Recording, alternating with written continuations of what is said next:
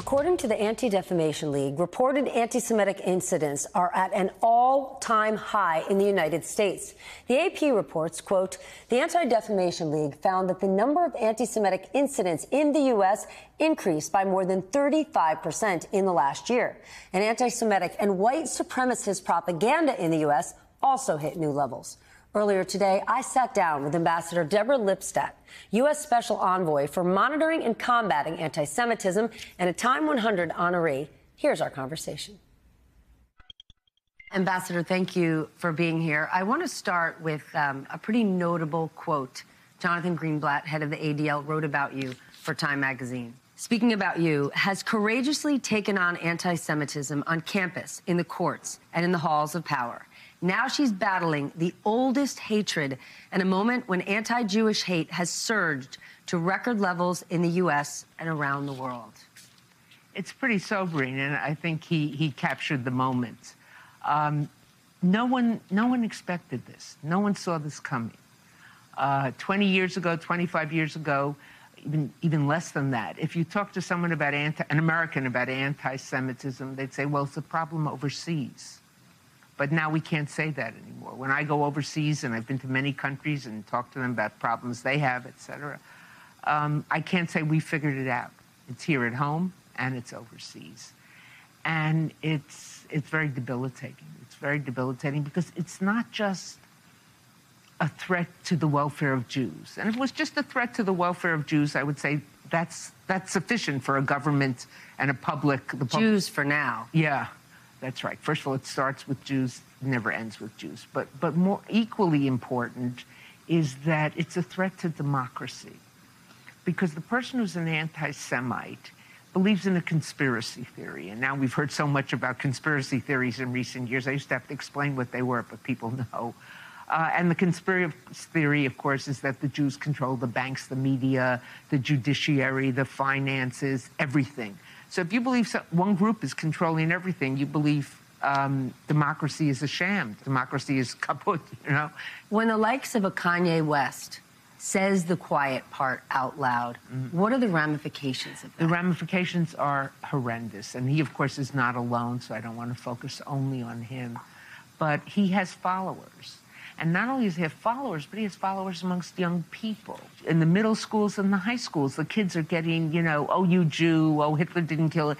And the kid who's saying it may not even know what they really mean by it. But it starts and then it escalates. But it's, I'm 47 years old.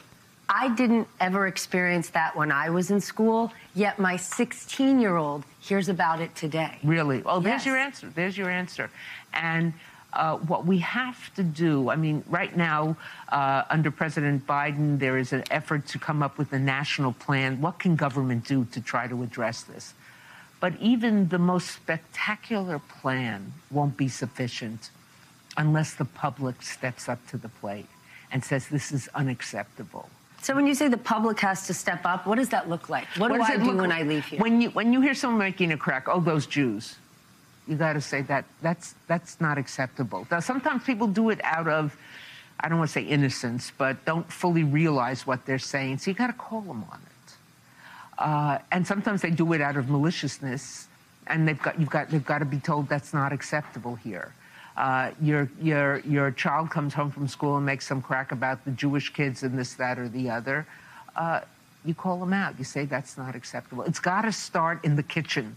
It's home. not just jokes, though. Right now, there is more and more organized That's media. Right. That's right. Dog whistling about globalists. That's right. The globe, the whole, the whole discussion of globalists. When they say global interests, cosmopolitan interests, in other words, not national, but who, by and large, either they're talking about Jews right from the beginning, or the person who was saying the pandemic. The pandemic was a secret effort for corporations to make money now. Who who is financially powerful enough? Who ha- who's evil enough to do this kind of thing? Who who knows how to act behind the scenes? And they end up with the they start with the Jews or they end so up. So what do we do with this? I can't change the mind of some of the groups, and I'm not going to mention them to give them any more publicity than they have, who are convinced that Jews are controlling things. But I have to get to the people who might be convinced by them. There'll always be haters but we have to sort of uh, put a cordon, uh, you know, around them so they can't spread their hate. Are, is there signs of progress? Are there good things to report? Yes, there are more and more. First, there there are a number of good things. First of all, um, the United States used to be one of the few countries in the world that had someone in this position to address the issue. There are now representatives in many countries, and I think the the most striking thing, and people often say to me, "Is this the 1930s again?" Is it? And, and about that, I can answer definitively, no. In the 1930s, it was governments that were doing this. Governments were expelling people. Governments were throwing people out. Government, Nazi Germany. But people are running for office today. Well, they have, have, these views. They have to be kept. So the fear is the fear, it could be governments next. Now is a time to take this very seriously.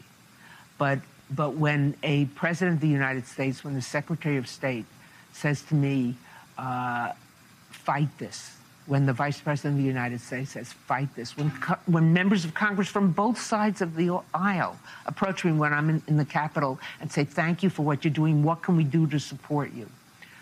It's an encouraging sign. Is it a solution? Will we solve the problems? No, but we must contain it you got to look for the good. You got to look for the light in the dark. There's a lot of darkness, but there's sparks of light. Ambassador, thank you for your time and thank you for your work. You're welcome. Thank you.